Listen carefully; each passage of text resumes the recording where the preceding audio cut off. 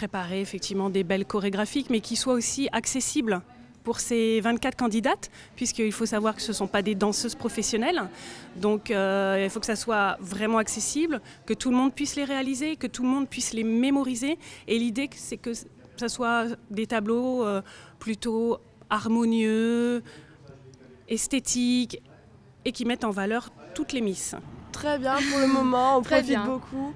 On a de superbes sorties, d'ailleurs on remercie beaucoup les partenaires euh, pour tout ça et le comité national.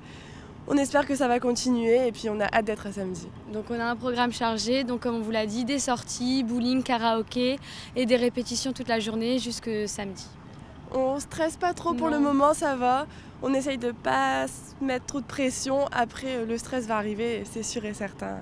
On verra. Il faut retenir un moment de l'élection, c'est qu'il faut vraiment profiter à fond parce que ça nous arrive qu'une fois dans la vie. Elles sont euh, très bien, enthousiastes, motivées. Et elles ont toutes euh, leur charme euh, personnel. Et ce que je veux garder aussi, c'est ce côté naturel. Je veux pas façonner des candidates ou je veux que leur présentation reste aussi propre à leur personnalité.